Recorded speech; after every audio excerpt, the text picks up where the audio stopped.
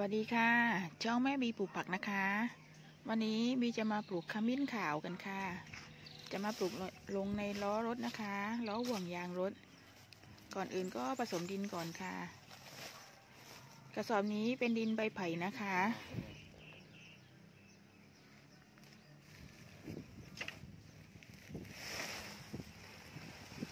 อัตราส่วนการผสมดินของบีไม่มีหลักสูตรนะคะ ไม่มีหลักสูตรตายตัวที่ว่าจะ เป๊ะๆค่ะ กะเอาค่ะ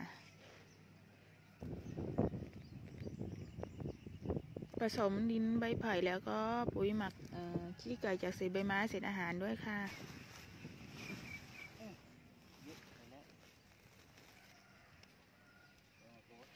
ขมิ้นขาวนี้เป็นสมุนไพรพื้นบ้านที่ดีมากเลยนะคะ หัวของเขาก็ประมาณนี้ค่ะ ประมาณนี้นะคะ มีสรรพคุณทางยามากมายเลยค่ะ ช่วยย่อยอาหาร ช่วยขับลม แล้วก็ช่วยเจริญอาหารด้วยนะคะ แล้วก็สรรพคุณอีกเยอะแยะมากมายเลยค่ะ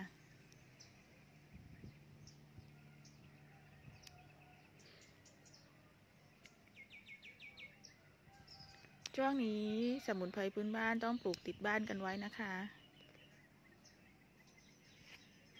ของบีปลูกแบบง่าย ๆนะคะ แค่เอาหัวของเขาฝังลงไปในดิน แล้วก็รดน้ำแค่นี้ค่ะ ของบีทำแบบง่ายๆปลูกแบบง่ายๆ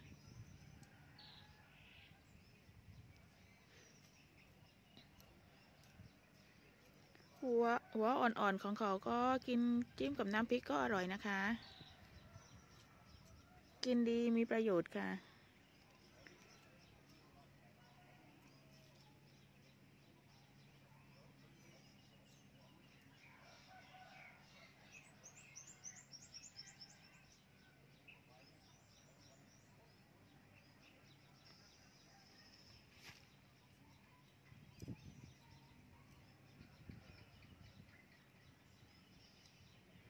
ดกุดถมถมง่ายมากป้าเดี๋ยวเขาก็ขึ้นค่ะ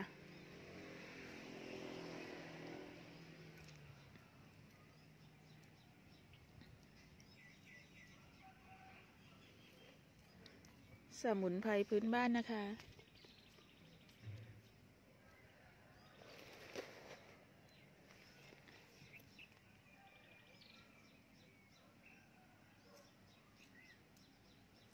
ดินร่วนมากเลยค่ะ ดินดีมาก